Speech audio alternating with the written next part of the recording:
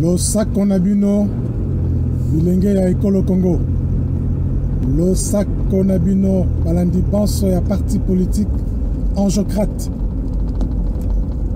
losako na bino banso bozali kolanda biso kati na mangistar tv lelo lisusu tozongi mpo na kosolola bino makanisi na biso toujours ezali na etambolisi ya ekolo na biso et puis euh, maye manso oyo mazali koleka kati na mboka na biso vraiment esengi ke tokoka ko prete au moins oreille na makanisi oyo oyo tozali kolakisa bino ezali na makambo mosusu ezali kosenga te ke tokoka koyekolisaka motu uke motu uswa soki akomi na esika na ebonga aluka ko, ko se justifier na makanisi moko ya mabe ndenge tozali koloba ke etat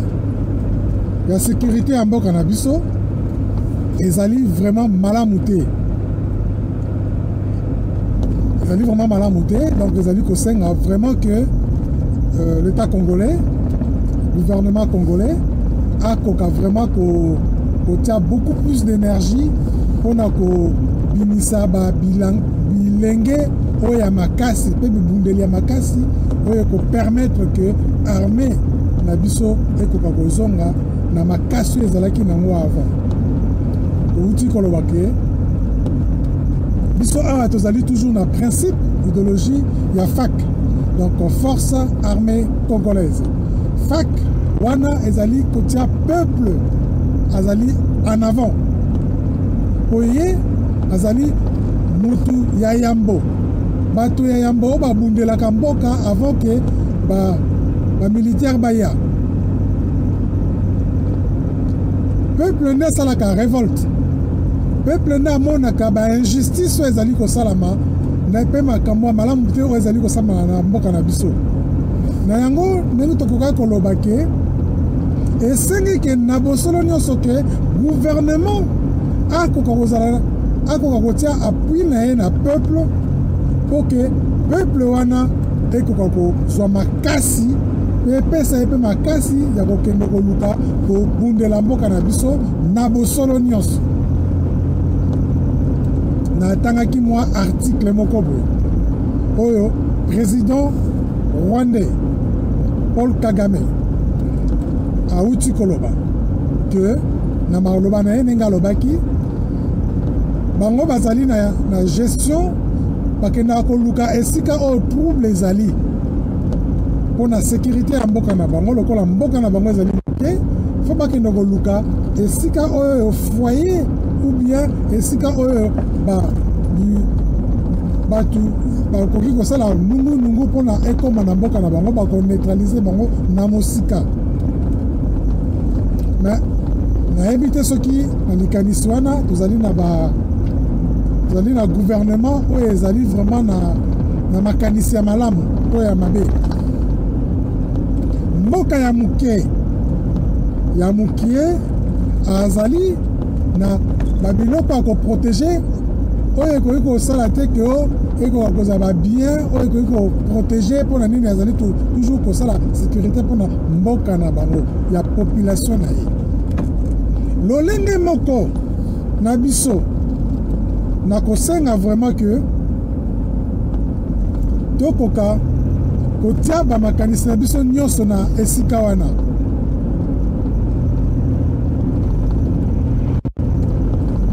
biso lolenge moko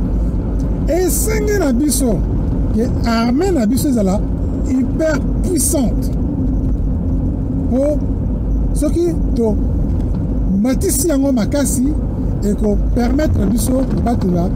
babiloko na biso mpona mpa barichesse oyo ezali na mboka na biso epe ekopermettre biso lisusu tobatela population oyo chaque jour azali massacre na ba bato ya ekolo mosusu oyo bazali nzinganzinga ya ekolo na biso nalingi te ke tokoka kozala toujours euh, na maloba ke bango kuna barwandais barwandais toujours barwandais awa ah, tozali kolobela état de sécurité état de sécurité oyo ezali kopermettre ke ekopesa biso mwa force me na yango ekosenga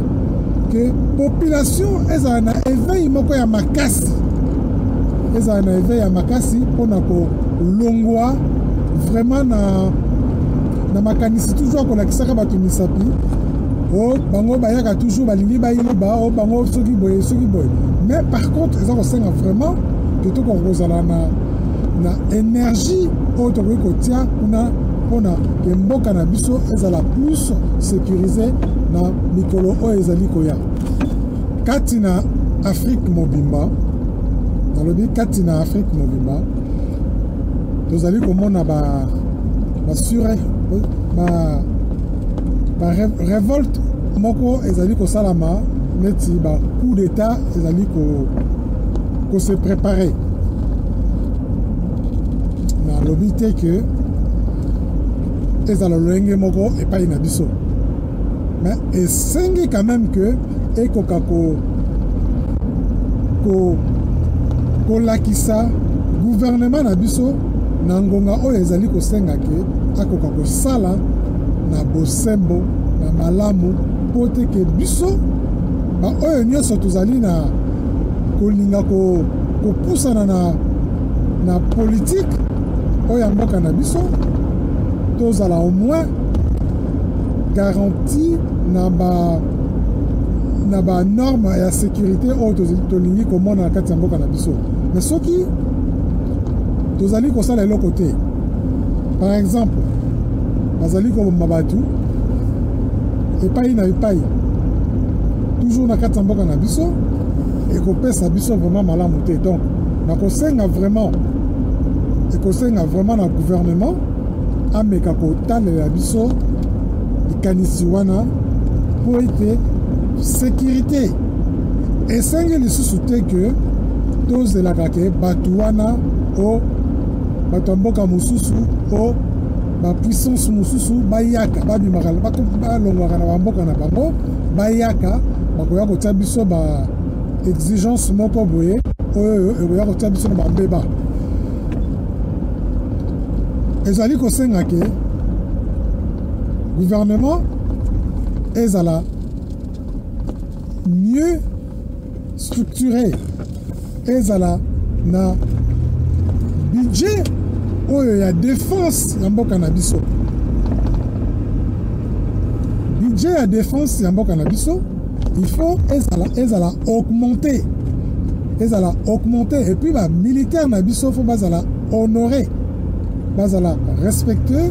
mpo ke tomeka kovalorize nalingi koloba boye ke ezali na bamilitaire ba mosusu oyo bazali bamilitaire oyo basi ba, basila si bazali ba, lisusu na lolenge ya kobundela te bazali lisusu na na baforce vraiment ya lokola ntango bazalaki bajeune te ezali kosanga ke to meka ko amenage na esika wana bato wana bakota ata na, na, na force moko ya, ya réserve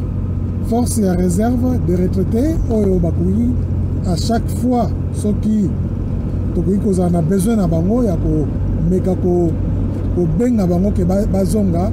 baya kotia baya kopesa main main main forte na na bibundeli na biso mpe mais il faut vraiment eloko biso tozali koloba ke